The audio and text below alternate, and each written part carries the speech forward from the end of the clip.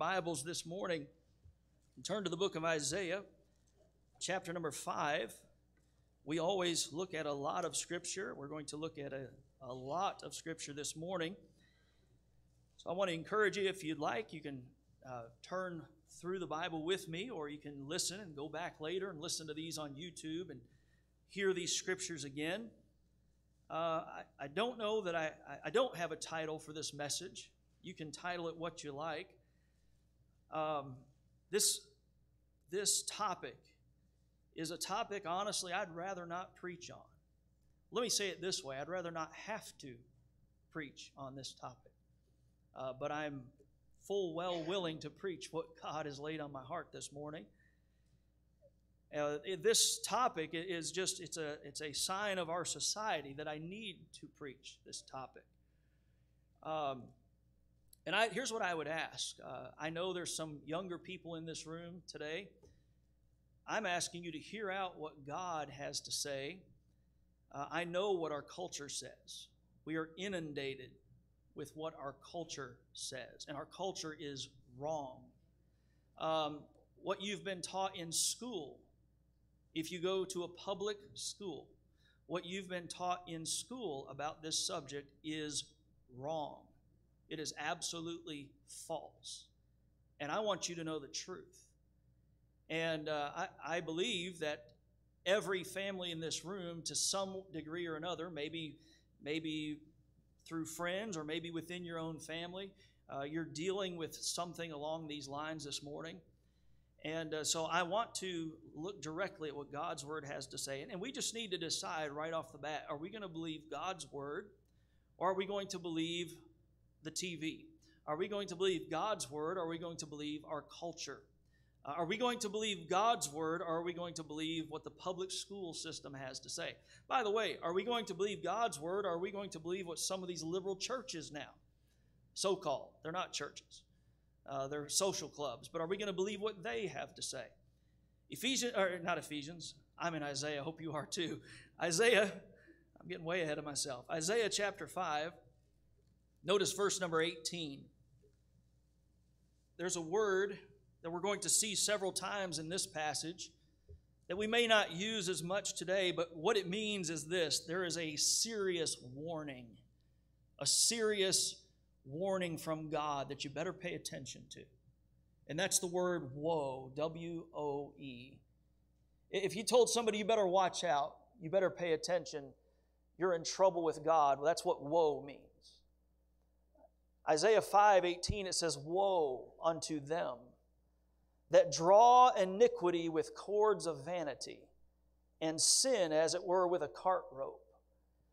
What he's talking about is like somebody who would be dragging a cart with a rope, almost like a wagon. There's a handle on the wagon. You're, you're, you're taking it along with you. Sometimes you see kids, they'll, they'll drag a wagon, they have their possessions in it. He said, I want to tell you, woe unto them that draw iniquity with cords of vanity.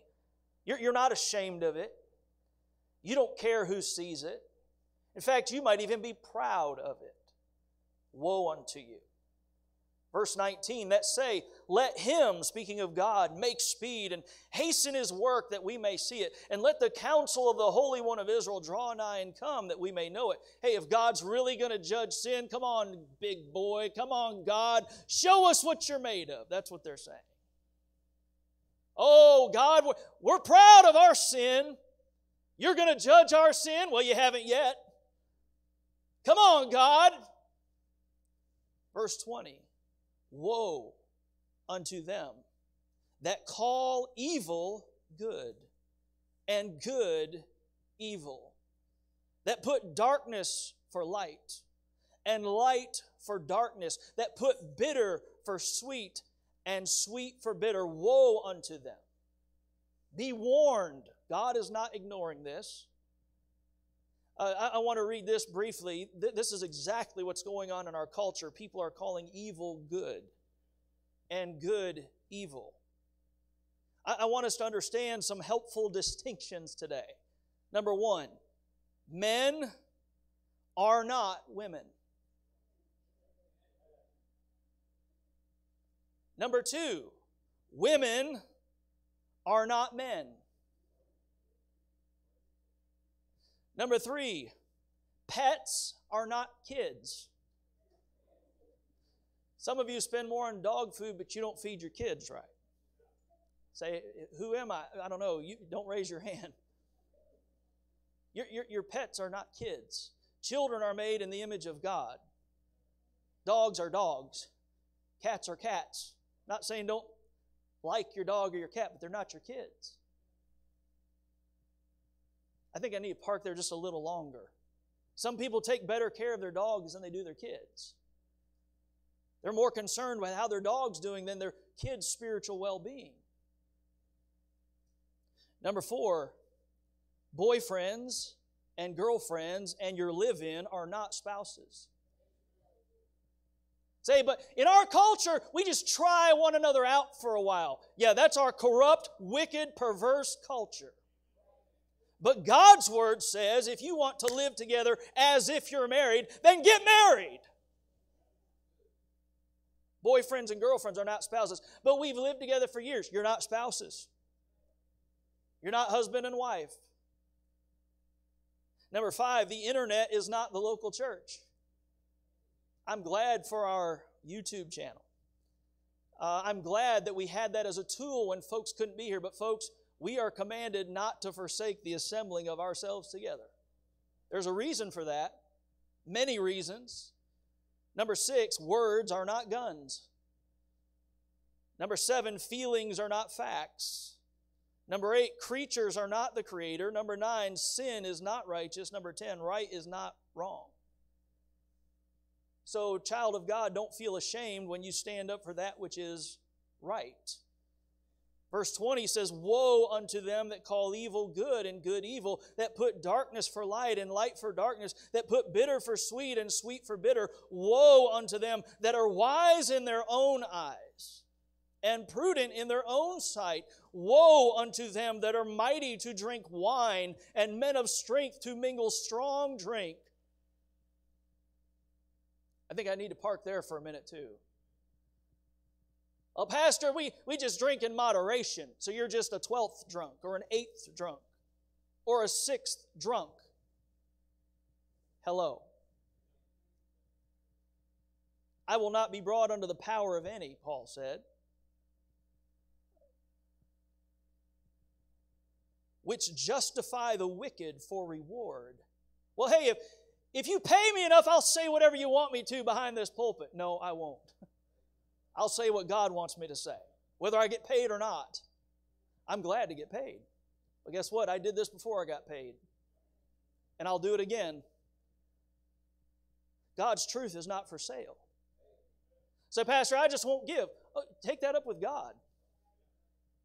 This is His truth. He's not going to change it for you or anybody.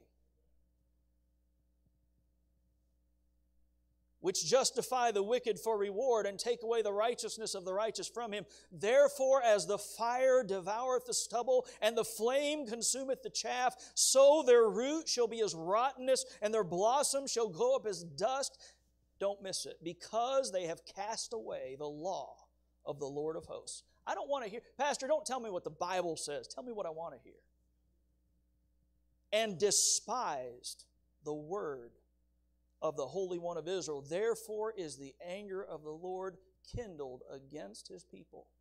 And he hath stretched forth his hand against them, and hath smitten them, and the hills did tremble, and their carcasses were torn in the midst of the streets. For all this his anger is not turned away, but his hand is stretched out still. Lord, speak to our hearts, I pray.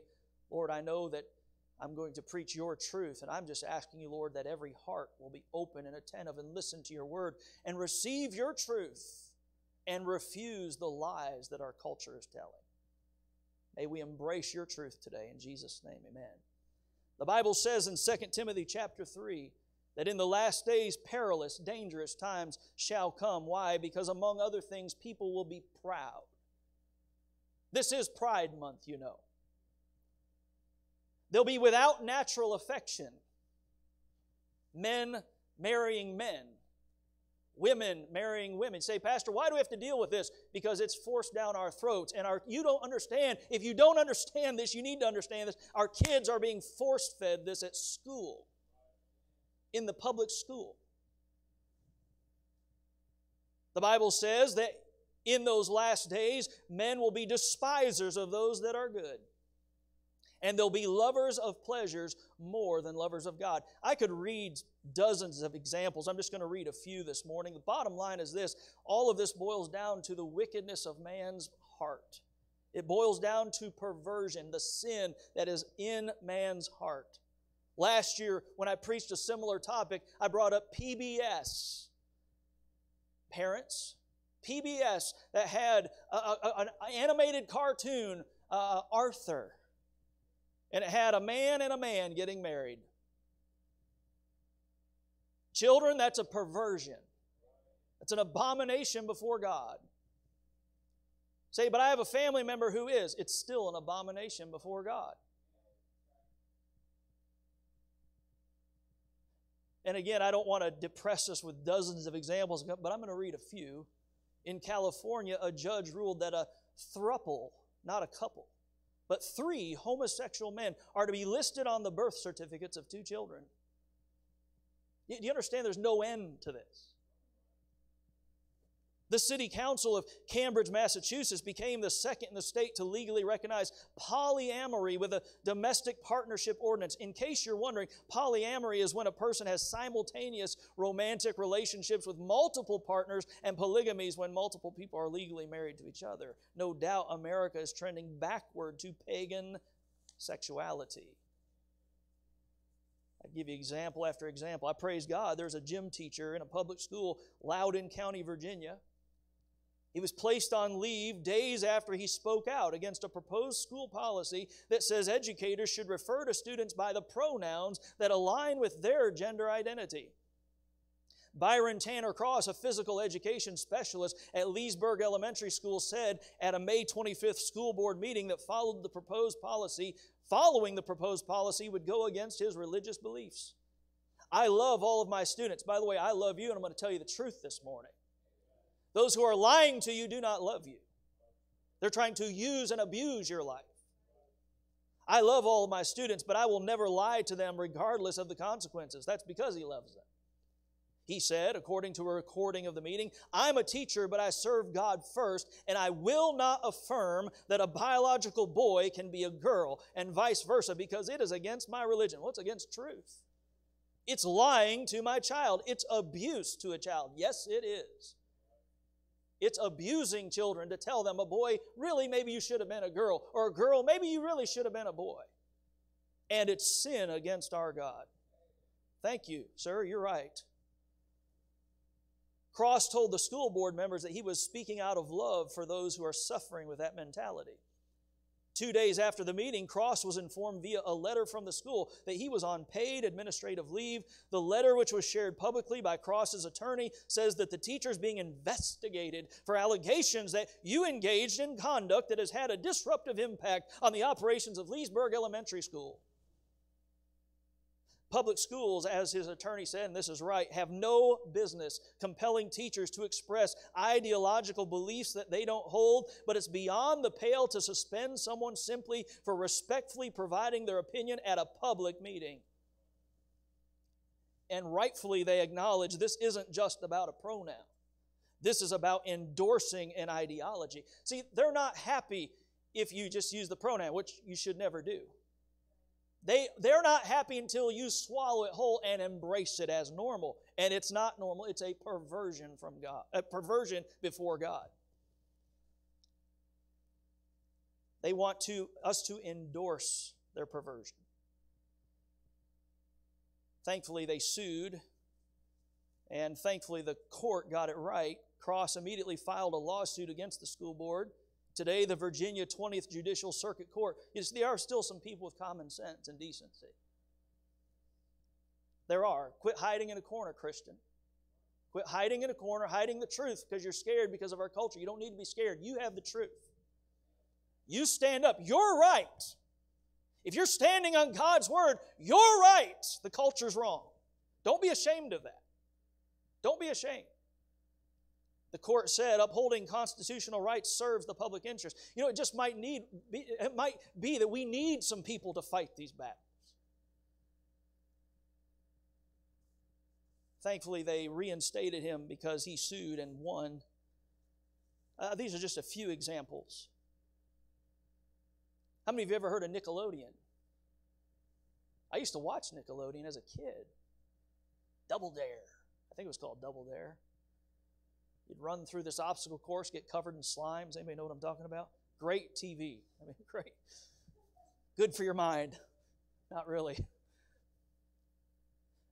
You'd be disgusted if you see the picture I'm looking at of a drag queen. Children's TV network Nickelodeon. Hey, parents, look, look wake up! Wake up! Say, Pastor, I just I don't want to bother anybody. Let them have their preferences. Wake up! It's affecting your children. I had a boss at work one time I, I, who, who was of that wicked, abominable persuasion. I took a stand, and the boss above her said, Why does it matter to you? I mean, shouldn't you just let people live and let live? Let them do what they want to do? I said, I'll tell you why it matters to me. A couple of reasons. Number one, I'm a pastor, I'm a preacher, and I'm going to tell the truth. And in certain countries, telling the truth on this subject will get you thrown in jail. And guess what? I'd rather not go to jail, but I'm still going to tell the truth. Number two, I have children, and I do not want my children thinking that this is normal, that this is acceptable, it's okay. Can I tell you something? Parents, you're pussyfooting around this thing, you're playing with it, and I'm going to tell you the young kids coming up are watching and they're looking and they're saying, well, it's not that big a deal. Mom and dad don't think it is. There's a generation watching. You need to make a big, bold line between right and wrong. You need to make a big, bold line between righteousness and unrighteousness, between good and evil. You need to take a stand. Quit hiding in the corner. You know, it might cost you something to take a stand, and it'll be worth the cost. Children's TV network Nickelodeon's pulling out all the pro LGBTQIA, what, however many letters. You, you know, there's going to be more letters added. You know why? Because there's no end to the perversion. They pulled it all out for Pride Month. The latest example is a video for kids that normalizes queer and trans people, and it's performed by this perverted drag queen whose real name is Andrew Levitt and who identifies as gay and uses he, him, his pronouns. shows a picture of this pervert saluting the pride flag with pink hair and long eyelashes and lipstick and a filthy dress. Pervert. In the lyrics, West describes what each color in the pride flag means. It's pretty innocuous stuff until he gets to baby blue, pink, and white. Represents transgender because every letter is equal.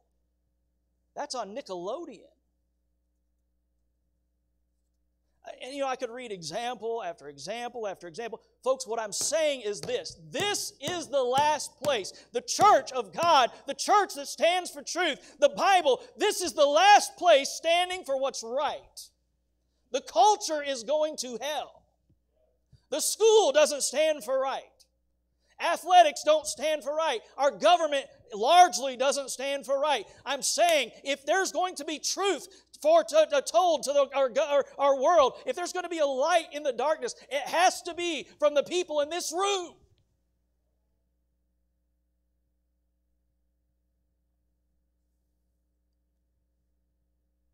God's word is very clear on this. It's not ambiguous at all. In Genesis chapter 2, verse 21, it says, The Lord God caused a deep sleep to fall upon Adam, and he slept and took one of his ribs and closed up the flesh instead thereof. And the rib which the Lord God had taken from man made he a woman, and brought her unto the man. And Adam said, This is now bone of my bones and flesh of my flesh. She shall be called woman because she was taken out of man. Therefore shall a man leave his father and his mother and shall cleave unto his wife, and they shall be one flesh. And they were both naked, the man and his wife, and were not ashamed. God made men, God made women. God created men to be attracted to women, and He created women to be attracted to men naturally.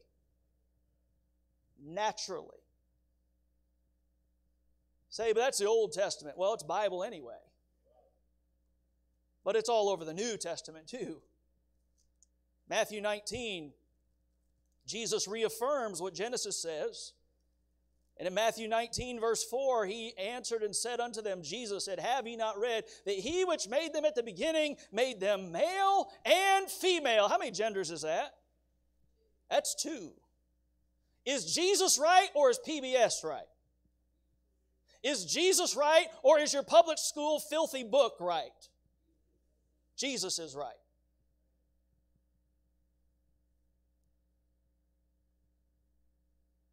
And said, For this cause shall a man leave father and mother and shall cleave to his wife, and they twain shall be one flesh. Wherefore they are no more twain, but one flesh. What therefore God hath joined together, let not man put asunder.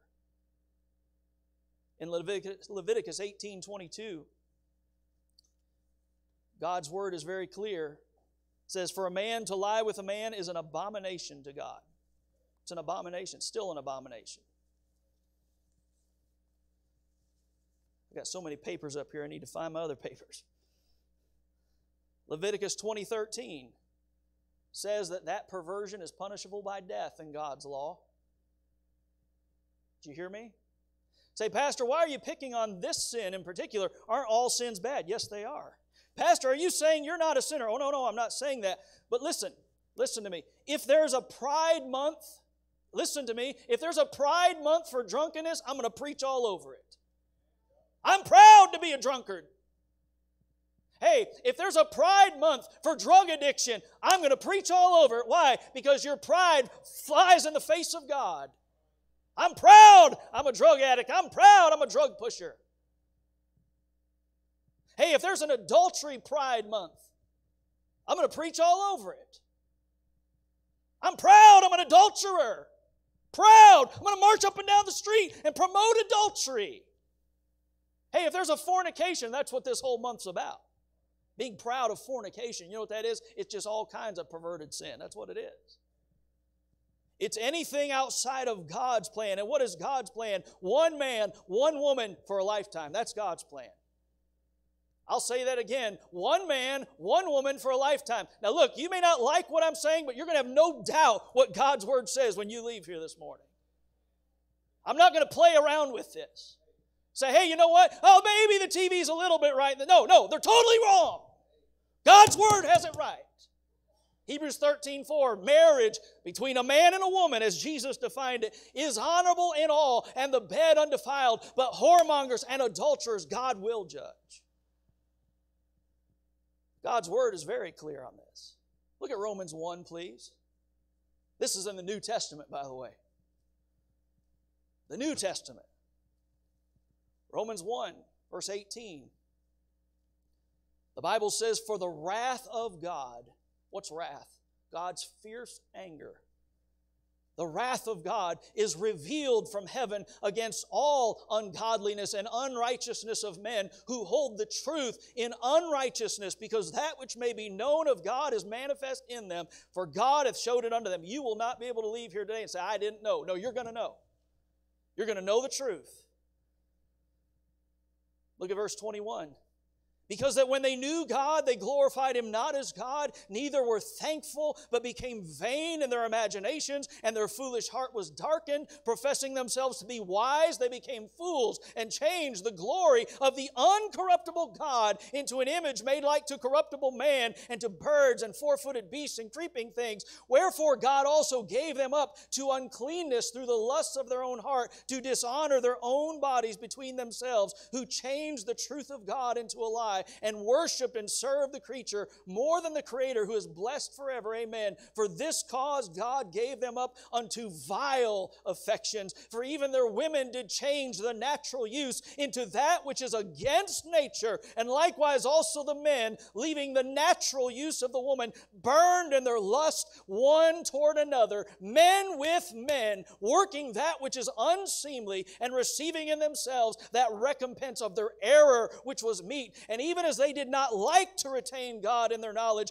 God gave them over to a reprobate mind to do those things which are not convenient, being filled with all unrighteousness, fornication, wickedness, covetousness, maliciousness, full of envy, murder, debate, deceit, malignity, whispers, backbiters, haters of God, despiteful, proud, boasters, inventors of evil things, disobedient to parents, without understanding, covenant breakers, without natural affection, implacable, unmerciful, who knowing the judgment of God, that they which commit such things are worthy of death. That's in the New Testament. Not only do the same, but have pleasure in them that do them. God's word is very clear. God is holy. He hates the abomination that's being paraded up and down our streets. He hates this filthiness that's being paraded Pride Month. He hates it. Oh, well, God, no, He hates it. It's an abomination to Him. Number one, God's word is clear. Number two, I want you to see man's wickedness. Now, these verses are somewhere in this pile, but I think maybe God just wants us to turn to Him. Look at Genesis 6, please. This might take a little longer for us to turn to all of them. But maybe that's what we need to do. Genesis 6, verse 5. Uh, where, where does this wickedness stem from? Well, there are my verses, but I still want to turn to some of these. Genesis 6 5. It says, And God saw that the wickedness of man was great in the earth, and that every imagination of the thoughts of his heart was only evil continually. Look at Genesis chapter 8, verse 21. It says, uh, look at the end of the verse, it says, The imagination of man's heart is evil from his youth. Where, where does this perversion come from? It comes from man's heart. Are you hearing me? It comes from man's heart. Uh, look at Mark 7, verse 20. Mark chapter 7, verse 20. Say, Pastor, people are born that way. Here's where I'll agree with you. Now, naturally, men are born attracted to women, and naturally, women are born attracted to men. But I'll agree with you that the heart of man, mine included, and every heart in this room, is corrupt. So you are right if you say, Pastor, but I was born with some sinful tendencies. Exactly. Exactly. So let me ask you if you have a family member who's a drug addict, will you make excuses and just say, well, they were born with that sinful tendency? Well, uh, you know, they, they do like adultery. They were just born with that sinful tendency. Well, they are a thief and they steal from everybody around them, but they were born with that natural tendency. We wouldn't celebrate those perverse tendencies. We wouldn't say they're normal. Are we going to have a pride month for thieves and robbers? A bunch of thieves and robbers who break into your house, steal your stuff. Should they have a pride month? No, because it's an abominable perversion. Where does that stem from? Man's heart. Mark 7, verse 20, Jesus said, That which cometh out of the man, that defileth the man. For from within, out of the heart of men, proceed evil thoughts, adulteries, fornications, murders, thefts, covetousness, wickedness, deceit, lasciviousness, and evil eye, blasphemy, pride, foolishness. All these evil things, pride's in there, come from within and defile the man. So do we say we're going to have a pride month? We're going to, we're going to have a pride month for fornicators living together. Say, Pastor, I don't like this. Then you don't like the Bible. You may have thought you liked the Bible. What you really like is religion. And I'm not offering that. I'm offering the truth of this book, of God's Word. Say, Pastor, can't you say it a little more nice? No, because I won't have your attention then. You'll think it's okay. You'll, you'll, you'll just, oh, it's another sermon. What's Arby serving for lunch? No, I want your attention. This is an abomination.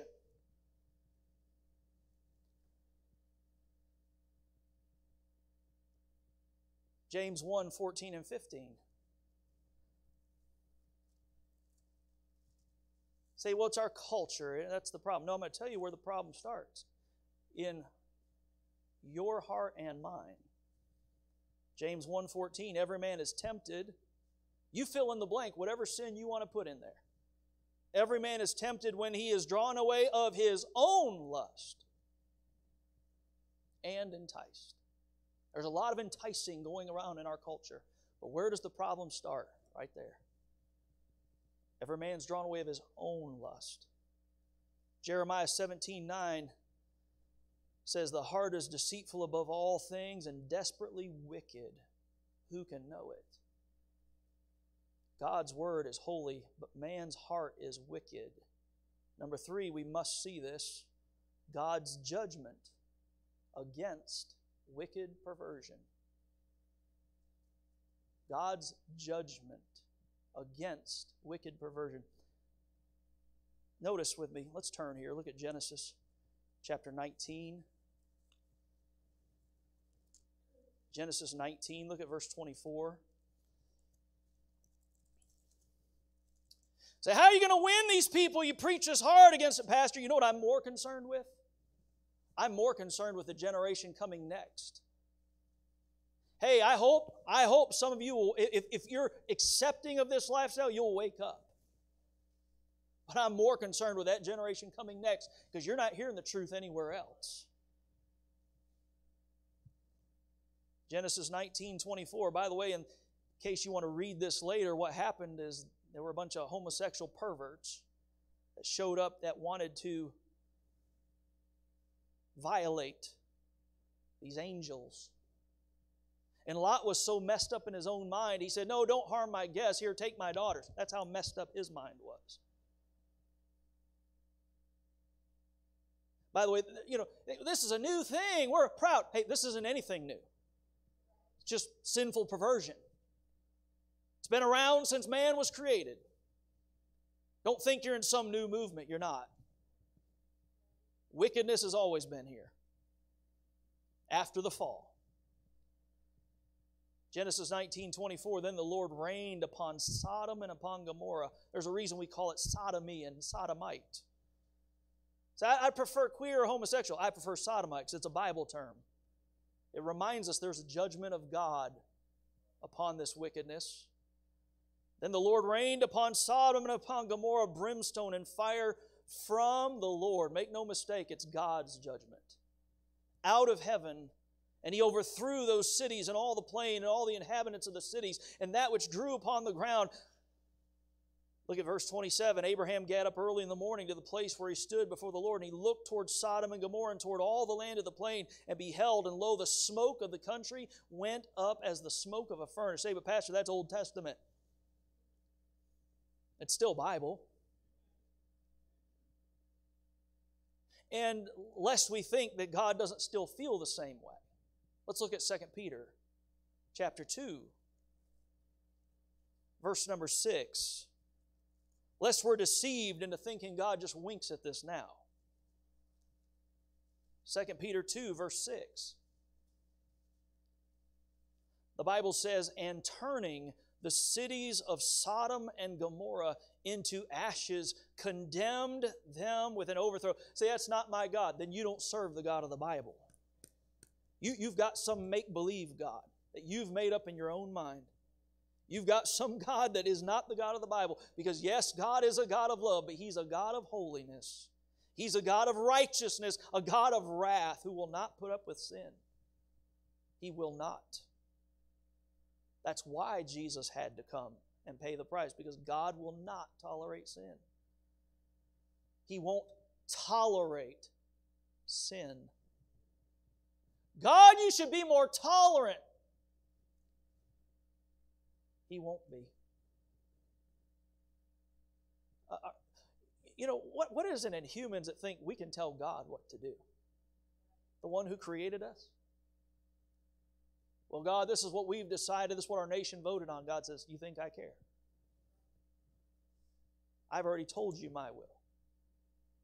Turning the cities of Sodom and Gomorrah into ashes, condemned them with an overthrow. Don't miss it. Making them an ensample unto those that after should live ungodly.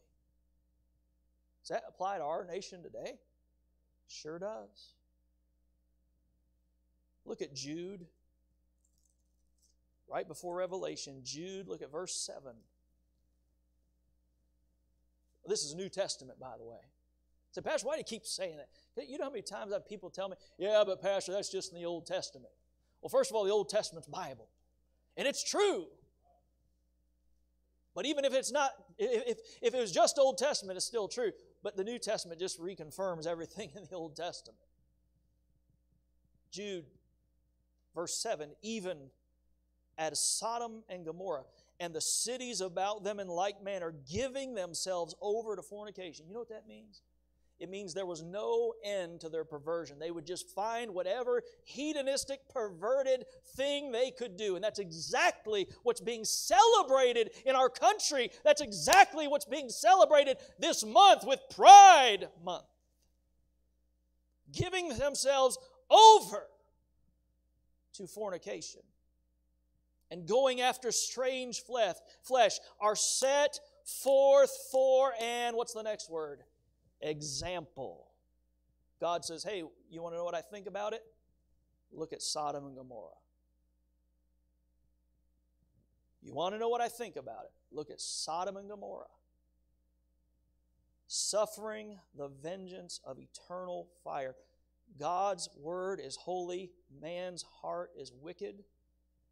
God's judgment against wicked perversion is severe.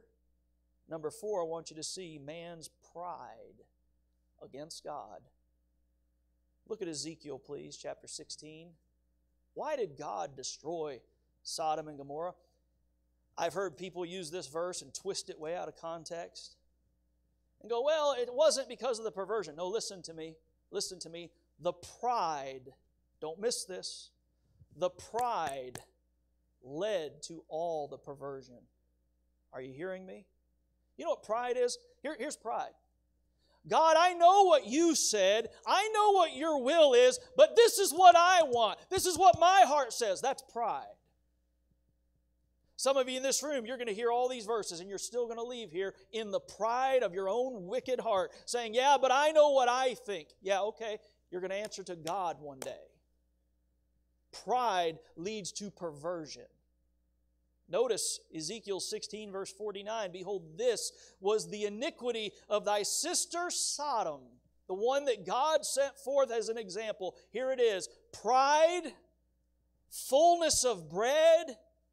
You know, I wonder if, if God took away our food in America, if we'd still be having pride celebrations. Say, Pastor, you don't wish, hope you don't wish. I don't wish that on us. You know what I'm saying, though? God might do that to get our attention. Say, oh no, it's America. Oh, oh, you think God has to have us?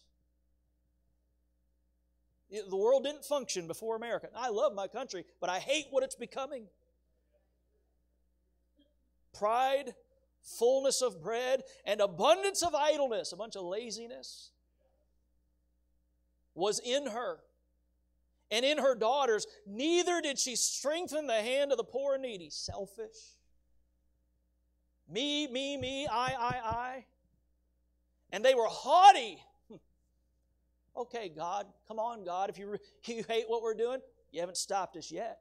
That's exactly what America's doing. Marching up and down the streets, Pride Month. And committed abomination before me. What is that? Abomination literally is something God detests. He hates. It makes him sick. Therefore, I took them away as I saw good. God's word is holy. Man's heart is extremely wicked. God's judgment against wicked perversion is severe. Man's pride against God is just like Satan's. You know, Satan got lifted up with pride. That's what got Satan kicked out pride. I'll be like the Most High. Oh, I know what God's Word says, but you know, this is what I think. And so, yeah, well, I think the Bible's a good book, but hey, this is what I think. So that's just as good as the Bible.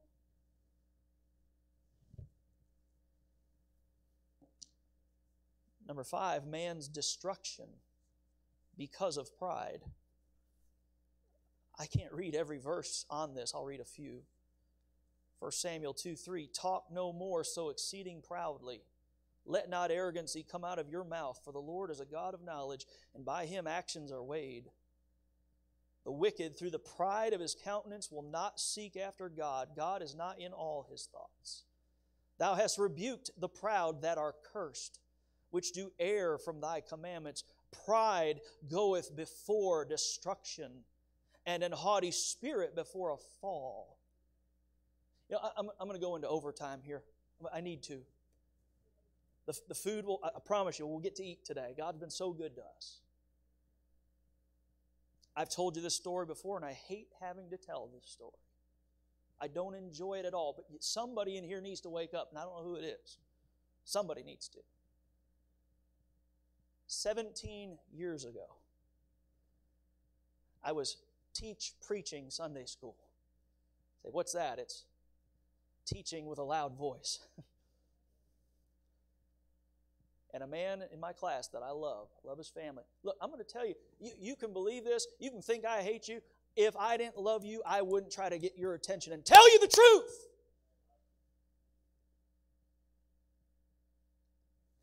I was teach preaching about this subject. And the man had a son who was living in that perverse lifestyle. I got a call into the office that week. A letter had come. They said, We're done. We're not going to church there anymore. I went and visited them. I sat in the living room. The man was furious at me, angry. He said, I want to go to a church where my son can sit next to me and feel comfortable. I don't need to go to Sunday school and be preached at. By the way, we all need preaching. I need preaching. Teaching is good too, but all that does is inform. Preaching demands a decision. We need it both. I said, Sir, I said, you're making a big mistake. I said, what your son needs is not a place he feels comfortable living in his sin. Your son needs a place that loves him enough to tell him the truth. I said, and sir, if you make the mistake of following your son out in the world, he may never come back to truth. He may never get right. You're making a big mistake. He said, I'm not coming back. It grieved me. But if I stopped and broke down every time I was grieved, I would never do anything for God. I just would have to stop and quit. But guess what? There's somebody else out there that wants the truth. That man did leave the church. His son did stay in that wicked, perverse lifestyle and died at a very young age in that wicked, perverse lifestyle.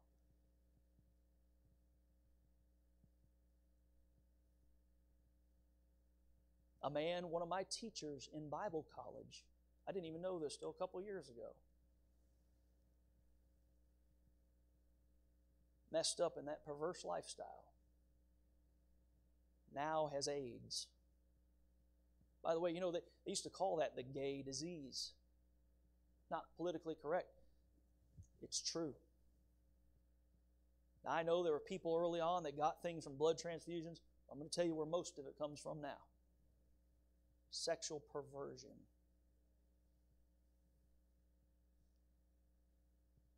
Pride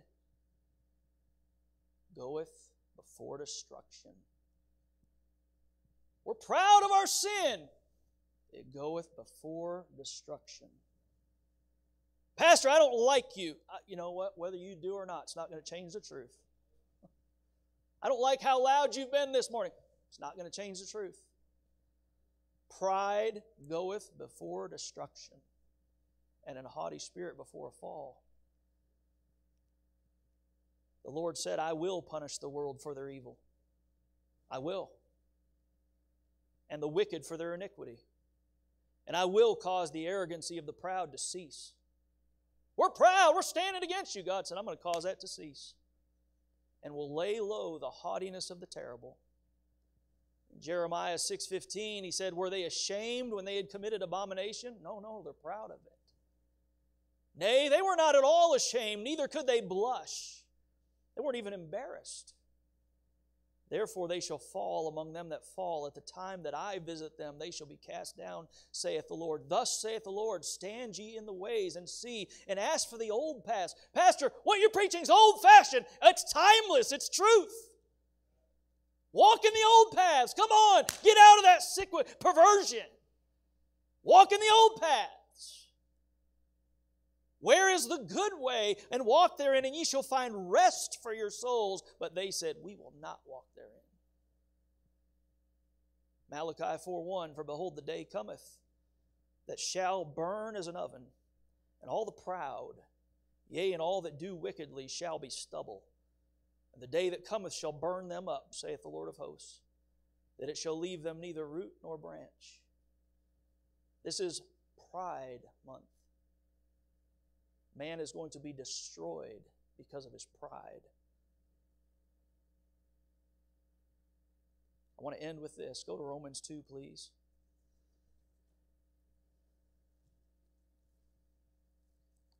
God is holy. His word is holy. He's not going to change His truth for anybody. Man's heart is naturally wicked born with sinful, wicked tendencies. We should not celebrate those tendencies. We should not be proud of those sinful, wicked tendencies. We should come to God for cleansing, for a change. God's judgment against wicked perversion is still true to this day. Man's pride against God is just like Satan's pride, and man will be destroyed if he continues in his pride. The good news is this. By the way, you might be here and you might be straight as an arrow, but there's still a wicked, sinful heart in your breast, just like in mine. I don't stand here in a haughty way saying I'm better than anybody. I stand here telling you, though, there's a God in heaven who will not tolerate our pride, who will not tolerate, uh, tolerate us rubbing it in his face. Say, Hey, God, if you're really serious, how come you haven't judged us yet? I'm going to tell you why. I'm going to tell you why. This verse answers that. Why? How come if God set forth Sodom and Gomorrah as an example of destruction, how come He hasn't destroyed us yet? Come on, God, if you're really truly against this and you hate it. I'll tell you why. Because God's really good. He's merciful, He's long suffering, not willing that any should perish, but that all should come to repentance. That's why in Romans 2 it says in verse 3 Thinkest thou this, O man, that judgest them which do such things? Well, that sin's wicked. What about the sin in your own heart? And doest the same that thou shalt escape the judgment of God? Or despisest thou the riches of his goodness and forbearance and long suffering, not knowing that the goodness of God leadeth thee to repentance? So, how come God hasn't judged yet? Because he's trying to lead you to repentance through his goodness. But if you continue in your hardened state of pride, your hardened mind, notice verse 5 But after thy hardness and impenitent heart treasurest up unto thyself wrath against the day of wrath and revelation of the righteous judgment of God, who will render to every man according to his deeds. The good news is this God offers you salvation. John 3, I want to look at two more verses, we'll be done. Look at John 3. We know these verses. Sin is abominable, it's wicked before God. Let's not play with it. Let's not think it's okay. Let's not be proud of it. This is why Jesus had to come and die because sin is that bad.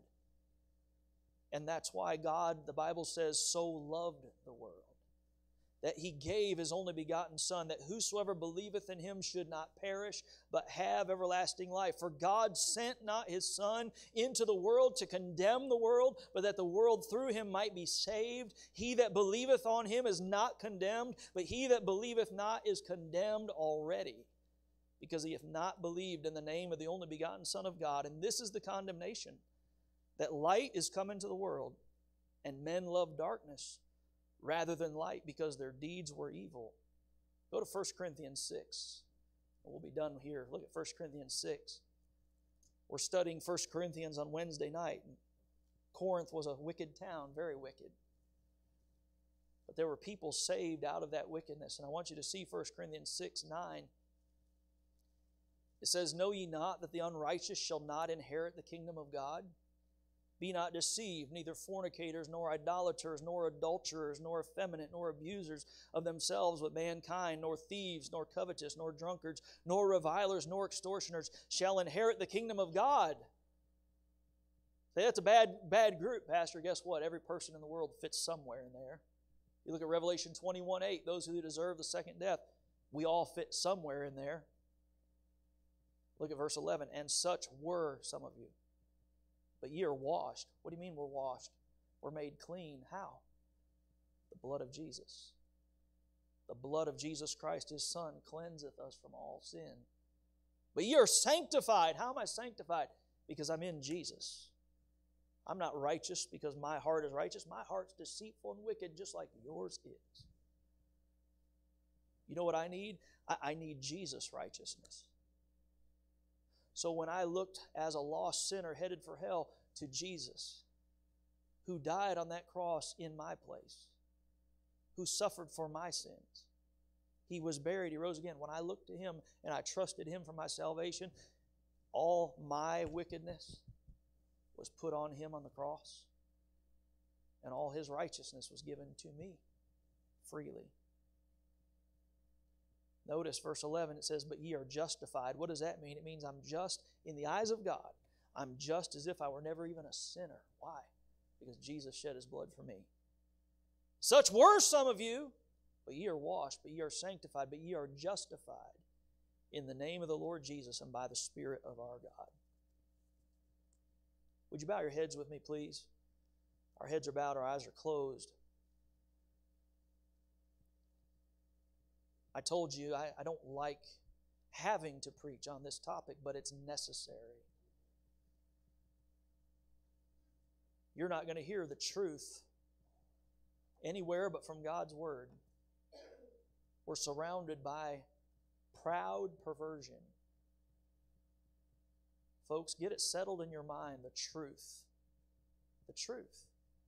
God's Word is holy. God will not tolerate sin. You say, uh, we, we need to be tolerant. No, no, no, no. God doesn't tolerate sin. Psalm 40, verse 4. By the way, Christians, people tell you, hey, you, you, need to respect everybody's point of view. No, Psalm 40, verse 4 tells you not to respect any point of view that doesn't line up with God's Word. Let me say that again. God's Word teaches us not to respect any point of view that does not line up with God's Word.